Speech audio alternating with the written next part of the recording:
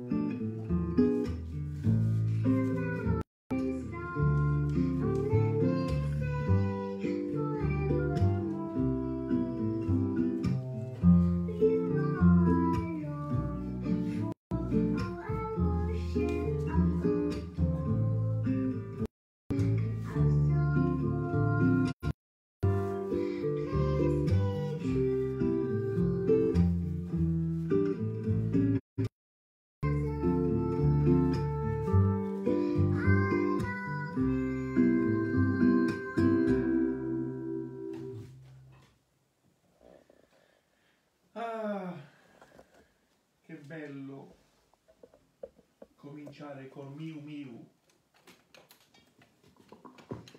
Perché dalla Cina bisogna smetterla di pensare che viene il coronavirus e basta. Che viene dalla Cina. Dalla Cina viene una bambina meravigliosa che si chiama Miu Miu.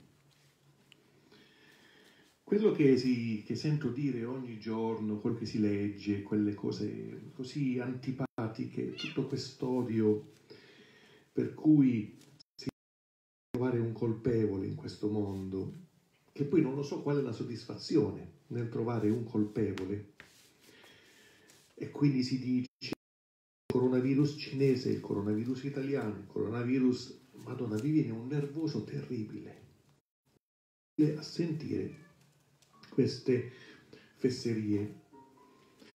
Perché eh, siamo tutte persone fantastiche. Io ho milioni no, ho centinaia e centinaia di amici cinesi che sono eh, musicisti straordinari fantastici con cui mi sento ogni giorno.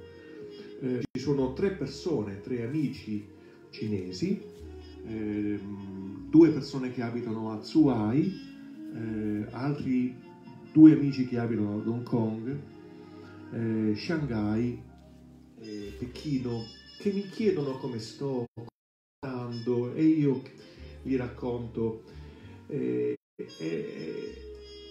quello volevo dirvi oggi, mi dà molto fastidio leggere eh, in giro quest'aria eh, di, di, di, di, odio, di avversione.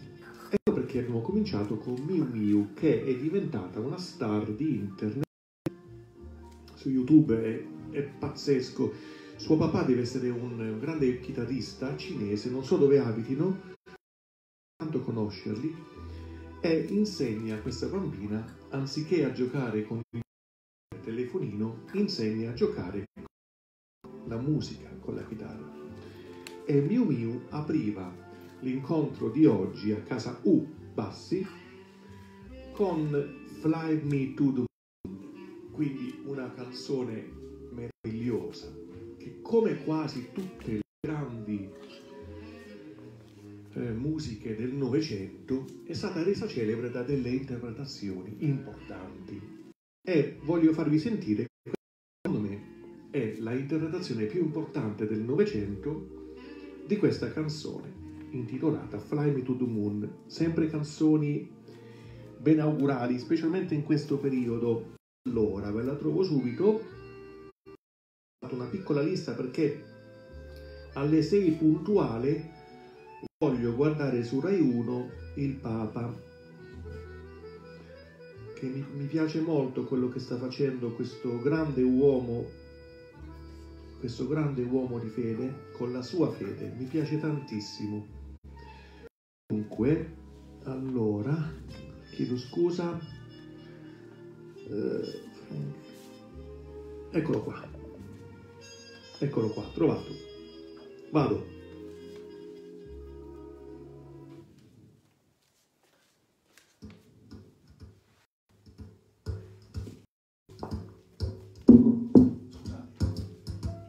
Fly me to star.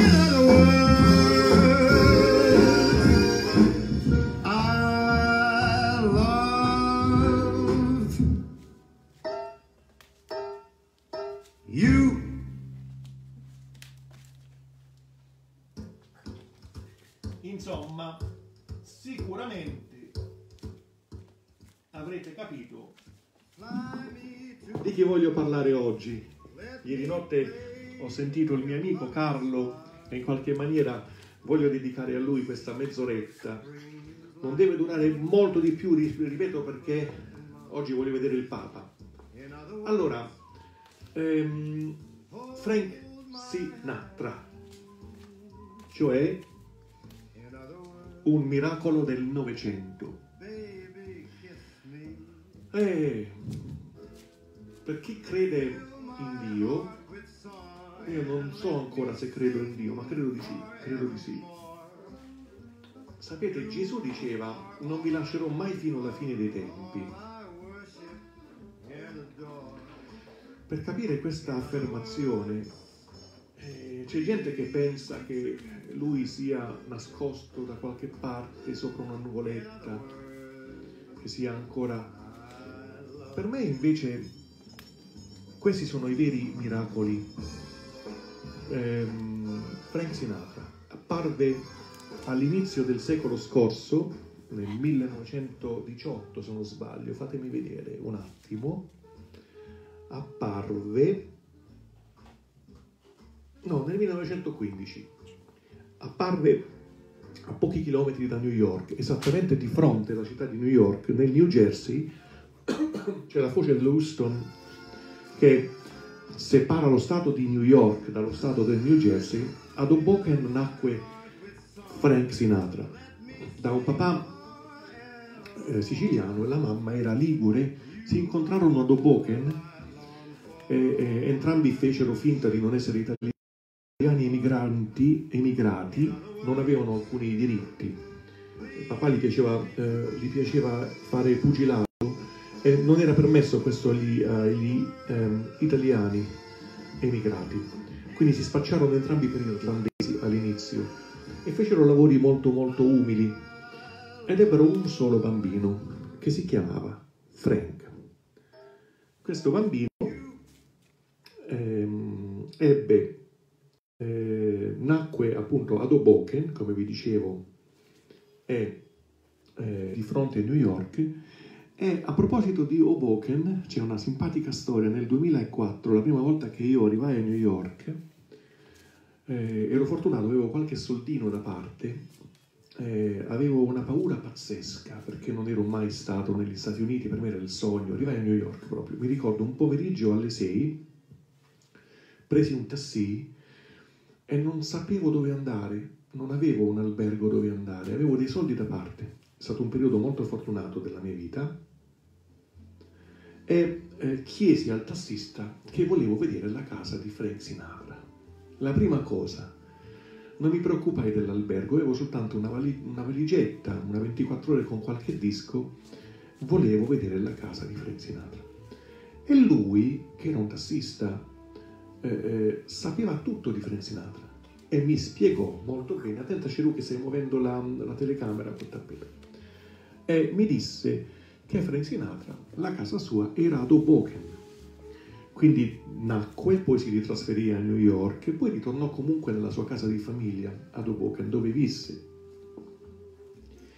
E non poteva portarmi ad Hoboken perché ci avremmo messo da, dal JFK, ci avremmo messo circa tre ore a quell'ora forse anche di più, il traffico era veramente sconvolgente. Allora gli chiesi di portarmi su Broadway, volevo subito vedere Broadway, mi portò in un albergo intorno alla 86esima strada e lì pernottai per tre giorni, poi appena mi resi conto che si stava, avrei, avrei salassato, mi sarei salassato, avrei speso tutto quello che avevo, cominciai a trovare ospitalità nei quartieri limitrofi eh, Manhattan, quindi andai subito prima a Brooklyn, poi nel Queens, specificamente ad Astoria, dove vi consiglio di andare se andate a New York. Astoria. Dunque, Frank Sinatra. La prima cosa che volevo vedere a New York era Frank Sinatra, perché eh, Frank Sinatra ha, mm, ha segnato totalmente la mia vita e probabilmente la mia nascita. Ci ha messo del suo, non nel senso che ha incontrato mia madre, non si sono mai incontrati, idealmente incontrò sia mia madre che mio padre, che, avevano, che ascoltavano tanto questa musica e come sapete la musica serve anche per fare i bambini. E se si fa l'amore ascoltando la musica i bambini vengono ancora meglio. E poi quando nascono i bambini anzi quando stanno nella pancia della mamma bisogna fargli ascoltare la musica. Come a Miu Miu sicuramente quella bambina avrà ascoltato la musica sin dalla pancia sin da quando stava nella pancia della mamma. Ma poi anche dopo, perché la musica è fondamentale per crescere ed è un, un, un toccasano, una medicina naturale. Frank Sinatra, eh, sin dai primi anni 30, eh, lui ha calcato tutte le stagioni, tutta l'evoluzione della musica americana. E quindi cominciò sin dall'epoca della Grande Depressione, aveva forse 15-16 anni, cantando nei piccoli eh, bar di Hoboken. Eh, poi fu ovviamente ascoltato da persone importanti e i suoi amici furono Dean Martin, eh, tutti i presidenti della Repubblica, a partire da John Fitzgerald Kennedy, che lui sostenne tantissimo e a cui eh, presentò una delle mie amatissime beniamine, Marilyn Monroe. Eh, mi ricordo che quando io non c'ero, quando morì poi Frank Sinatra, eh, quando morì ehm, John Kennedy, Frank Sinatra si, si, si ritirò per un periodo, ne soffrì tantissimo, ebbe amici importanti, qualche disavventura come tutte, e ho ascoltato di lui Flying to the Moon e per farvi capire eh, in pochissimo tempo stiamo parlando, stiamo parlando di uno che parla perfettamente la lingua americana, l'inglese. Chiunque, anche chi non pratica bene l'inglese, capisce ogni parola. Io ho imparato l'inglese ascoltando Frank Sinatra, non studiando mai. Dunque, vi voglio fare sentire un'altra canzone che è stata riprodotta nel film meraviglioso che vi consiglio di vedere, Joker, che ieri Carlo mi ha fatto vedere, mi ha, fatto, mi ha mandato appunto questo, questo, appunto, c'è quella scena in cui lui balla sulla scalinata, sulle, sulle note di That's Life. Anche questa è diventata famosissima con Frank Sinatra. Per parlare di Frank Sinatra forse lo farò un giorno, bisogna spendere non meno di una settimana, parlando almeno 3-4 ore al giorno, perché la musica è tantissima. Oggi soltanto un piccolissimo assaggio. A voi, Death Life.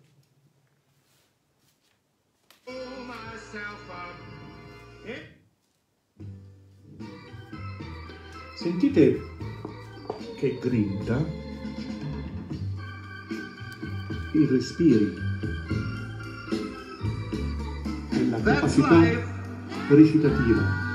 That's what all the people say. You're riding high in April, shot down in May. But I know I'm gonna change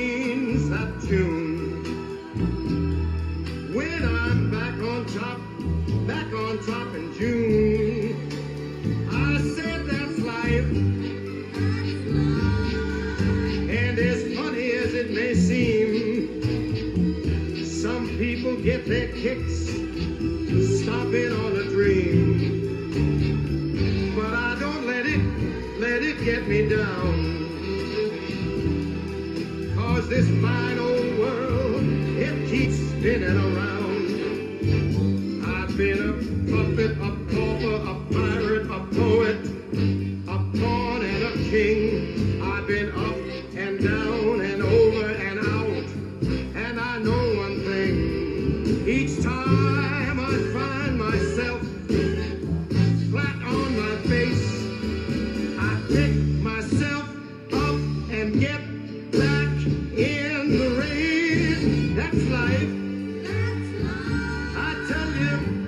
can't deny it. I thought of quitting, baby. But my heart just ain't gonna buy it. And if I didn't think it was worth one single try, I'd jump right on a big bird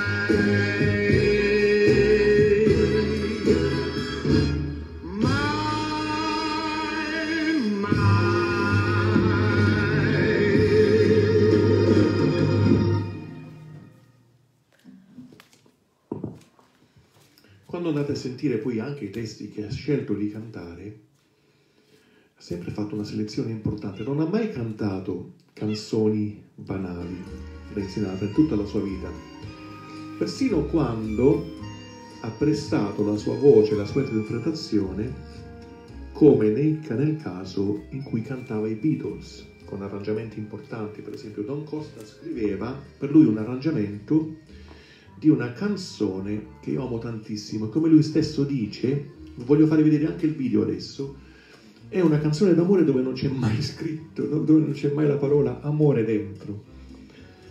E sto parlando di un video bellissimo che ho trovato dove lui canta Something, che lui definisce una delle più belle canzoni del mondo. Allora.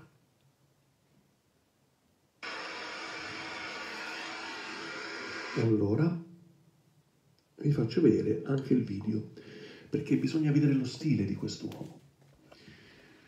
Un uomo perfetto, di bellezza rara, sempre stato molto bello fino all'età adulta, uno stile incantevole, senza bisogno di, eh, di ornamenti, non aveva bisogno di ornamenti, di tatuaggi, di volgarità, non aveva bisogno di tutto ciò che colorisce l'immagine dell'artista attuale. Mi duole dirlo un po' in tutto il mondo, non soltanto in Italia. Non credo che esista al mondo, ci sono, eh, ci sono grandissimi cantanti, ma nel nostro paese mm, non ci sono più. O se ci sono, non sono più ammirati. Adesso i modelli di vocalità sono altri che non hanno mai studiato musica. Guardate il grande Frank. Vado, eh? Thank you very much, ladies and gentlemen. Now I'd like to turn to something that uh, uh, that so happens to be the title. This is a great song by George Harrison of the Beatles, with a marvelous arrangement George by Don Harrison. Costa. It's one of the best love songs I believe to be written in 50 or 100 years, and it never says "I love you" in the song, but it really is one of the finest. If you please. If you please.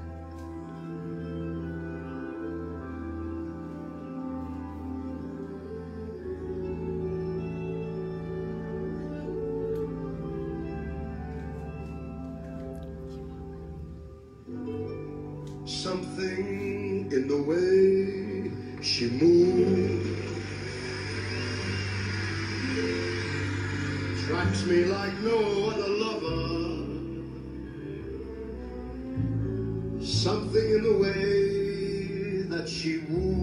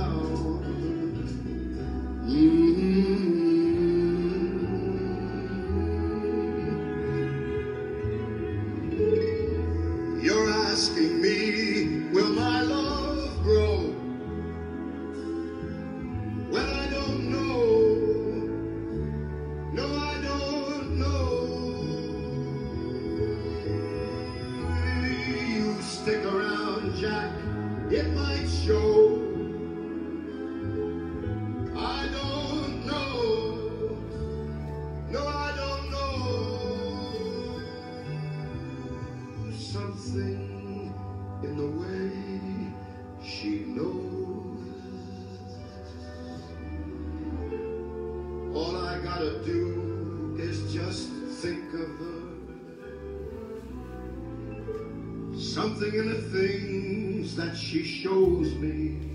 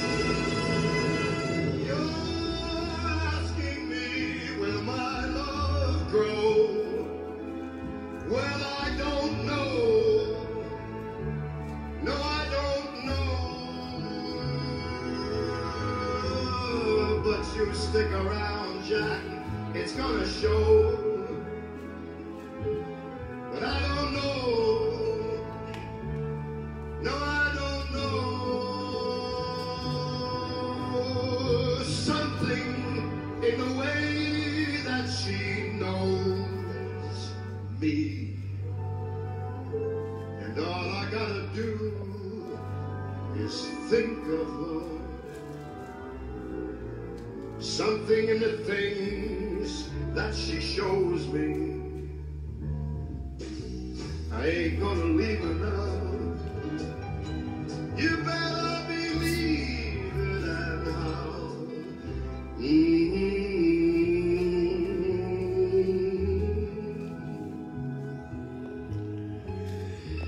E don't sono rimasto in religioso silenzio perché il mio segreto adesso diventa pubblico.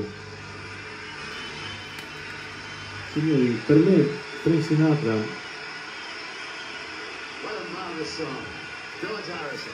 è il più grande santo della storia. Non lo sto dicendo così per farmi, per darmi un tono. Lo dico veramente perché mm, io sono nato grazie all'amore di papà e mamma, ma ci stava una colonna sonora, c'era un ambiente che sicuramente era la, la loro, la loro, come dire, la loro vita, la loro esperienza, il loro incontro, il loro amore, il loro essere, ma c'era Frank.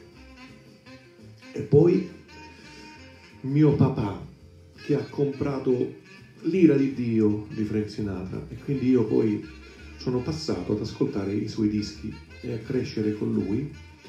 E non ho mai conosciuto nella mia vita, ditemi se esiste, forse Ray Charles, sì esistono dai, Barbara Streisand, Sarah Vaughan, ci sono, ci sono, ma lui è The Voice. A un certo punto della sua carriera, che è durata circa 60 anni, forse anche sì, 60 di più, eh, perché si è cominciato a, a 15 anni, quindi circa 70 anni durata la sua carriera. A un certo punto nel mondo intero Frank Sinatra era conosciuto dappertutto, cioè erano tre i personaggi più famosi del mondo. Frank Sinatra, primo posto, il Papa, la Coca-Cola. E in un tempo in cui non c'era internet, non c'era nulla, ma c'era la, re- la redietta, eh, capite bene che se Frank Sinatra è diventato conosciuto in tutto il mondo grazie alla sua voce, alla sua musica, facendo innamorare generazioni e generazioni di popolazioni di tutto il mondo. Ditemi voi se questo non è un miracolo. Allora, io ho un conto aperto che il mio amico Carlo e chi mi conosce bene conoscono bene. Io ho un conto aperto con, con te e spero che un giorno potrai vedere questo video. Ti do del tu perché eh, ti conosco da tanti anni, padre Livio, padre Livio, sì, il fondatore di Radio Maria. Tu ebbi a dire, ebbi, avesti, ebbi, io ebbi, tu avesti, come si dice? Aiutatemi che il, il cervello si confonde in questo momento. Tu avesti, ebbi, ebbi, io ebbi, tu avesti a dirmi come si scrive, come si dice, eh, Ornella, aiuto. In ogni caso, tu eh, avresti, avesti a dirmi, a scrivere, eh, eh, la puntata del 14-15 mattina del, 2000, del 1998, quando conduci alle 8 di mattina il tuo radiogiornale su Radio Maria, tu mi dicesti che Frank Sinatra era morto e lo, ebbi a- lo venni a sapere grazie a questa notizia. Già il mio cuore si frantumò a mille. Io ascoltavo Radio Maria perché ero molto in preghiera in quel periodo, perché c'era mio zio gravemente malato e io pregavo. E ascoltavo Radio Maria. Prima notizia del 15 maggio, credo, 15 maggio, mattina del 15 maggio, ma era morto da poco, perché lui morì nella notte del 14, credo maggio del 98. Mio zio morì a luglio. Padre Livio ebbe a dire al mondo intero dei cattolici, signori amici, cari amici, lui dice sempre così, cari amici, mamma mia, io non ci potevo credere, adesso andrà a rispondere al Padre Eterno di tutte le sue malefatte, una cosa del genere. Non so se si trova in internet una cosa del genere, non c'erano strumenti per registrare, non c'era niente, c'erano telefonini e registratori. Mamma mia, fu un dolore talmente enorme per me, gli ho scritto tante di quelle volte, tante di quelle lettere, non mi ha mai risposto. Ora ditemi voi, amici, potrebbe mai Frank Sinatra andare all'inferno? No, pure no. Padre Livio potrebbe andare all'inferno per quelle cose? Beh, se non cambia subito idea, forse sì. Perché? Eh, detto e chiudo questa cosa, anche se per me non è mai chiusa, perché finché non parlerò con questo cristiano che sta facendo un sacco di, dice un sacco di fesserie, io non sarò contento. Da qualche Frank è il mio santo e vi faccio capire ancora il perché. Tutto ciò che lui ha cantato è diventato grandioso, famosissimo in tutto il mondo, qualsiasi musica, musiche tratte dai musical, musiche tratte da operette, da commedie, come nel caso di questa canzone che io proverò a suonare con lui, cercando di rispettare al massimo. Allora, allora vi faccio sentire. Benissimo. Questo è uno dei suoi brani eh, più accorati. Era un, cantante che riusciva a coniugare la enorme sapienza dello swing quando cantava con una, una veemenza e una capacità attoriale sconvolgente. Cioè lui quando canta nella realtà entra nella parte di chi sta cantando. E dal, ehm, da questa canzone che si chiama Sending the Clowns, che non vuol dire, cioè letteralmente vorrebbe dire manda dentro i pagliacci, fai sparire i pagliacci, ma nella realtà in questo, questo contesto i pagliacci erano le, le, le futilità, le cose stupide, perché questa canzone parla ovviamente come sempre lui, lui ha sempre cantato l'amore, parla del rapporto di un uomo e una donna, che, eh, di, eh, che alla fine non finisce tanto male, ma in questo momento finisce male. È una storia d'amore tra un uomo e una donna che si sono amati in stagioni diverse della loro vita. Sicché lei ebbe un bambino da quest'uomo e quando, ehm, prima di avere questo bambino, quest'uomo le chiese di sposarla e lei lo rifiutò. La loro relazione finì, poi lei rimase incinta e bebbe questo bambino. Poi si rincontrarono e fu lei a chiedere a quest'uomo di sposarsi.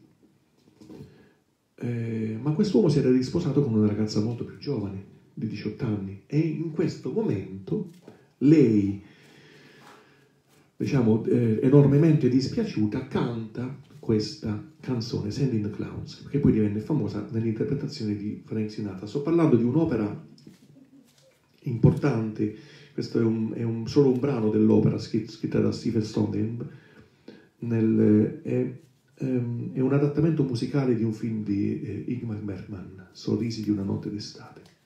È una, una, una commedia nera, come si definisce. Vi faccio sentire. Poi alla fine, giusto per appunto, i due torneranno insieme perché la giovane moglie di quest'uomo si sposerà con eh, il figlio che loro due che loro hanno avuto, quindi una sorta di, di allora. Scusate amici, oggi devo essere un po'. Mi dispiace tanto, ma ho deciso che volevo vedere questa cosa del Papa, scusatemi. Allora, avete sentito? Com'è possibile che Frank Sinatra possa andare all'inferno? È impossibile ha cantato l'amore per tutta la vita e per generazioni e generazioni. stato un uomo come tutte le persone normali e non sarà mai giudicato per il suo male, ma per il suo bene. Allora, cantava all'amore, ha amato molte donne, è stato sposato credo tre volte, ehm, anche con Mia Farlow, che è stata la sua ultima, anche con, con eh, l'attrice famosissima, eh, no, Rita, Rita, Rita Hayworth, sì, che poi gli fu rubata eh, da un autore italiano e lui per questo dolore non, non cantò, credo, a lungo, per dieci anni, credo che fu fuori dalle scene, da Walter Paoli, che si innamorò di Rita Hayworth e quindi la strappò all'amore di, di Frank Sinatra, è stato un amore molto turbato il loro. E c'è una canzone che secondo me parla di questa canzone, infatti secondo me la canta, la dedica a Rita. Ed è una canzone che lui canta, eh, racconta di lui seduto a un banco di un, chiedo scusa, un banco di eh, un bar, eh, c'è Joe che gli versa da bere e lui più beve viaggia nel, nell'amore e dice a Joe di Joe versami ancora da bere per la mia, la mia baby, mia babe, la mia, la mia ragazza e mettimi ancora da bere per la strada lunga che farò e secondo me questa canzone lui l'ha, suonata per, la cantava pensando a Rita. Questo è un mio personale eh, eh, pensiero. Vi faccio sentire questa splendida canzone. Allora.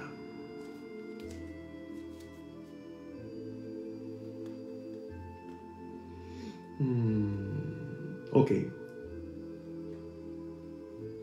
Eccola qua.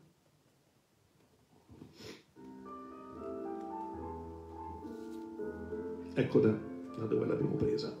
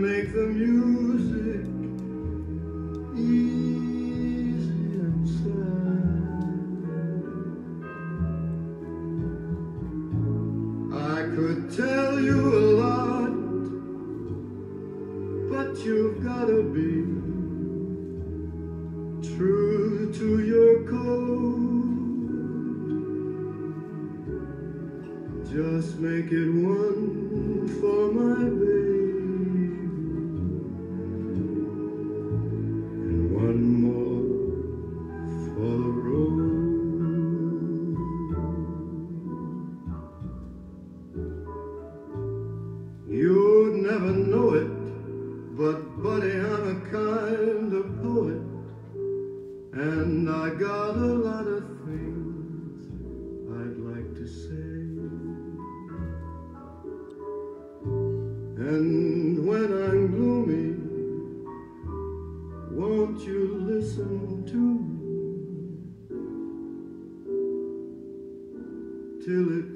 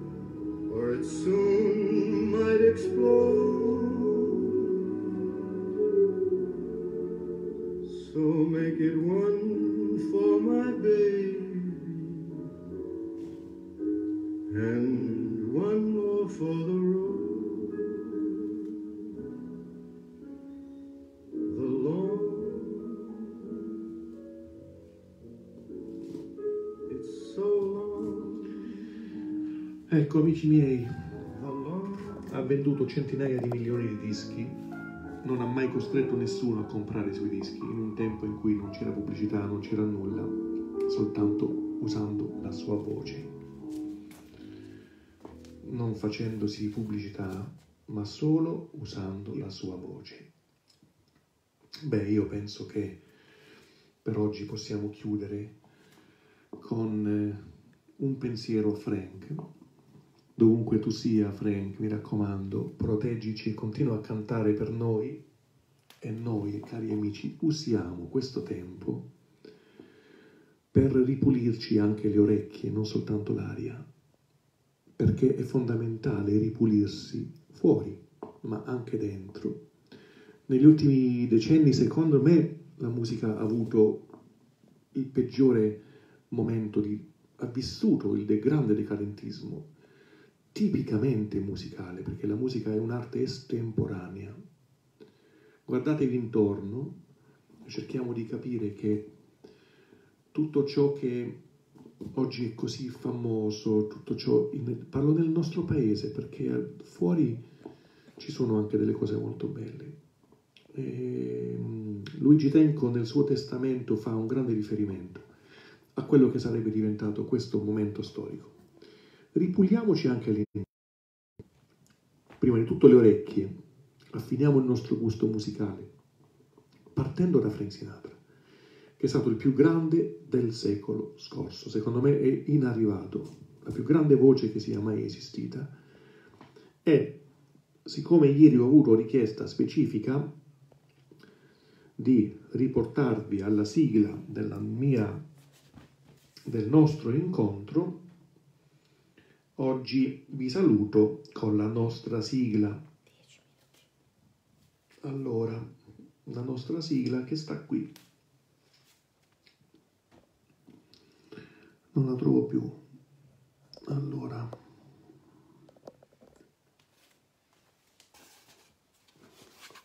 Sta preparando il balletto Cirù. Scusate amici miei, ma non riesco a trovare la sigla. Vediamo se sta qua. Eccola qui. Ciao amici, abbiamo parlato di Frank Sinatra. Penso che parleremo a lungo di Frank Sinatra, ma parleremo anche di Elvis Presley, parleremo di Ray Charles, parleremo di tantissimi.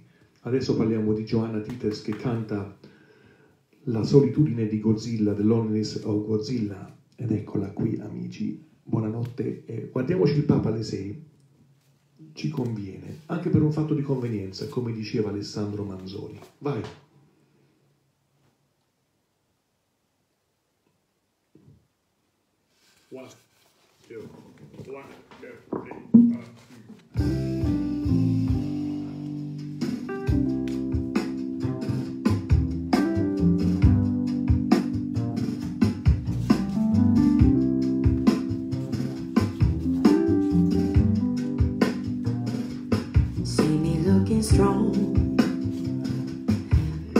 On my own.